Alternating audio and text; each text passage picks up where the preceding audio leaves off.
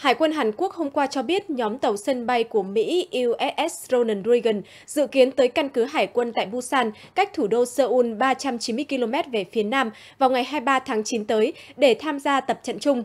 Đây sẽ là các cuộc tập trận chung đầu tiên giữa hải quân hai nước trong 5 năm qua. Thông báo của Hải quân Hàn Quốc nhấn mạnh, thông qua các cuộc tập trận chung, Hải quân hai nước tăng cường khả năng sẵn sàng cho mọi tình huống quân sự và thể hiện quyết tâm vững chắc của Liên minh Hàn-Mỹ trong việc duy trì tình hình an ninh ổn định.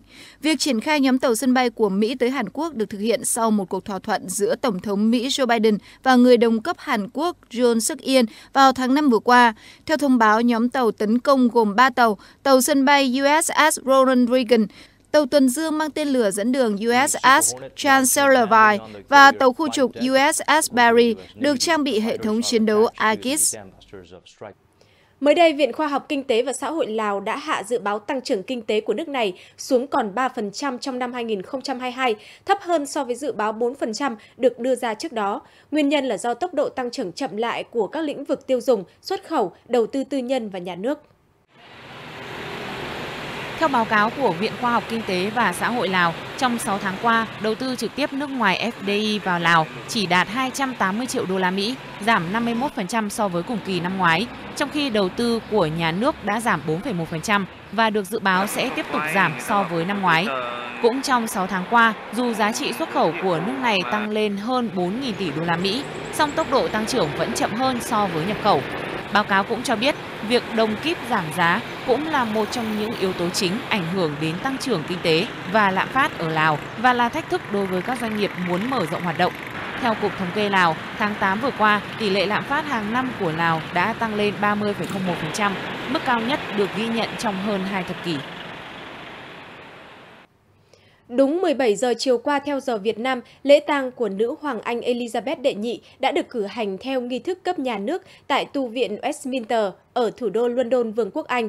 Các thành viên Hoàng gia Anh cùng hàng chục nguyên thủ quốc gia và hàng trăm quan chức cấp cao của nhiều nước đã có mặt để dự tang lễ, trong khi hàng trăm nghìn người dân Anh đã xếp hàng dọc theo các con phố để nói lời từ biệt tới nữ hoàng. Từ sáng 19 tháng 9, linh cữu của nữ hoàng Elizabeth đệ nhị đã được đưa đến tu viện Westminster bằng linh sa gắn pháo của Hải quân Hoàng gia Anh. Lễ tang của nữ hoàng Elizabeth đệ nhị cũng là lễ tang đầu tiên của một vị quân vương tại tu viện Westminster kể từ thế kỷ 18. Cuối tang lễ, Vương quốc Anh dành 2 phút mặc niệm trên toàn quốc để tưởng nhớ nữ hoàng. Sau lễ tang, linh cữu của nữ hoàng được linh sa rước từ tu viện Westminster đến cổng Wellington, và đến Hyde Park Corner trước khi được đưa đến nhà nguyện St. George ở lâu đài Windsor để an táng. Trong suốt lễ rước, cứ mỗi phút đồng hồ Big Ben lại đổ chuông và một lượt đại bác được bắn từ công viên Hyde Park. Tôi sống ở Ken. tôi và mẹ tôi đến đây để đưa tiễn nữ hoàng. Sự ra đi của bà là một mất mát lớn đối với người dân Anh. Nữ hoàng được yêu mến và kính trọng không chỉ ở nước Anh mà trên toàn thế giới. Chúng tôi sẽ rất nhớ bà Tang lễ của nữ hoàng là sự kiện lớn nhất kể từ Thế vận hội Olympic London 2012 và là sự kiện quốc tế lớn nhất do Bộ Ngoại giao Anh chủ trì cho đến nay. Hơn 20.000 người gồm cảnh sát, lực lượng quân đội, công chức và tình nguyện viên đã được huy động để phục vụ tang lễ.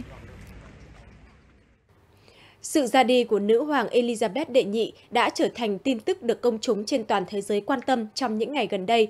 Đáng chú ý, các ca khúc trước đây về nữ hoàng đã một lần nữa trở lại các bảng xếp hạng âm nhạc như một sự tri ân mà công chúng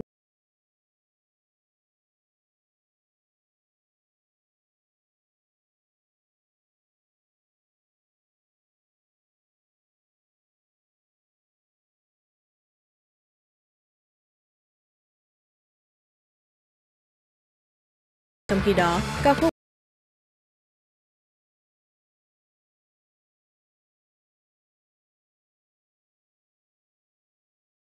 là huyền thoại The Beatles với ca khúc mang tên Her Majesty.